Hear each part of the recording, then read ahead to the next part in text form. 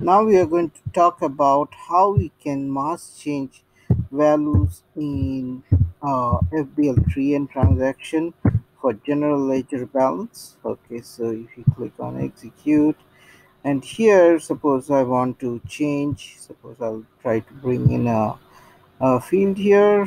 Hmm, let me see document status and probably let's see any other things I can bring in. So yeah let's bring this thing whether it gets changed or not okay? So now what we are going to do we are going to ed edit select all and we click on this mass change okay?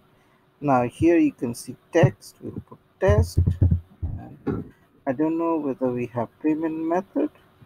Let's see what I'll do is I'll just close this and I'll try to bring payment method here.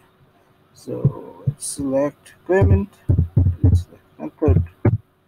See payment method is there and I bring it here copy and see the payment method is blank so I'll make changes to the text and the payment method. So let's put payment method something. So I'll put T no I'll put direct debit and I'll put uh, GL test. Let's see whether it goes complete something. Unable to change every document. So that's the error message they give so I think the payment method changes should not happen. So probably the text only happens. So we'll just change and we'll say GL test let's see execute changes. So changes have been made if you see. Now we'll go select refresh. And now you see the text has been changed. For GL GL balances you cannot change payment method.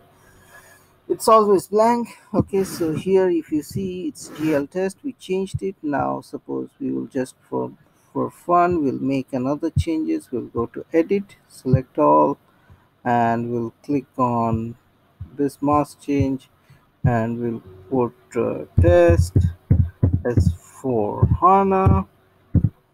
Okay and we'll select this execute changes.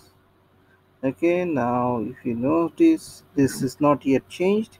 You need to go to here click on refresh and that's there it is test S/4HANA. So imagine if you have thousands of these you need to change. This is very helpful for accounts payable as well as financial people and in the month end year end quarter end to release their result and do their reclass and add, add and update multiple means multiple uh, documents with the same value.